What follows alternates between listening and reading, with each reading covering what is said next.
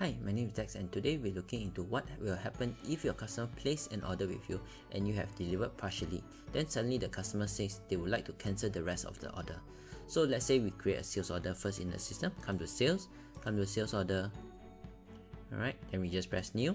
And let's say for example the customer is alpha and beta, so let's say alpha and beta, and we select the product. So example let's say here, we want to order 1 to 3 item, I want to order 100 pieces at $2 per piece alright? So once you're done we just press save.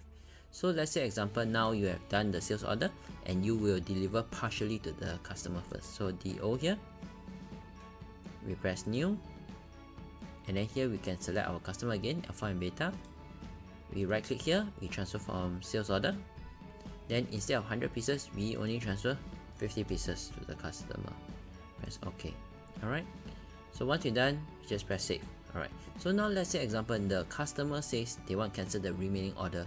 Of course, right now when you press your sales order here, when you select the sales order, you can see that there is already transferred to sales, so you cannot cancel this. Alright, and if you leave it and not do anything, what happens is will always appear in your outstanding sales order listing, and of course, then the system will then assume that you're still yet to fulfill this order. Alright, so to actually proceed with this, all we just need to do is come to sales.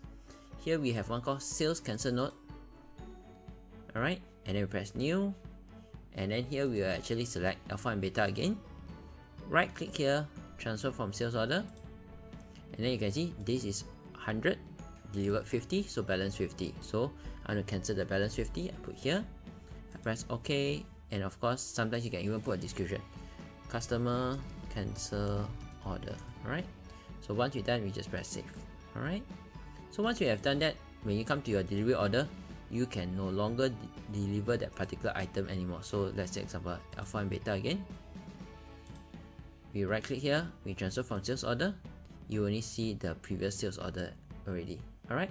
So that's how you actually can manage your partial cancelled sales order in SQL accounting. Do like and subscribe to be notified when we release new guides. Thanks.